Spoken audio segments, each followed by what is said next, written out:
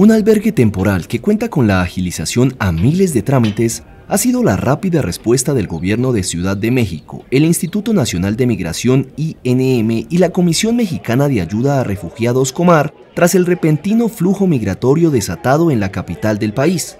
Después de que cientos de migrantes instalaran un campamento provisional en la céntrica Plaza Giordano Bruno cercana a las oficinas de la Comar, el gobierno capitalino abrió un albergue en el bosque de Tláhuac donde se encuentran cerca de 800 personas. Así lo explicó Jorge García, director de migrantes de la Secretaría de Inclusión y Bienestar Social. Estaban en la calle, eran días de lluvias intensas, había muchas familias con niños pequeños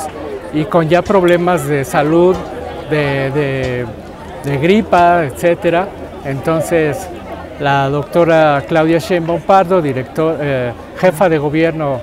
de la, de la Ciudad de México, pidió a la Secretaría que abriéramos un albergue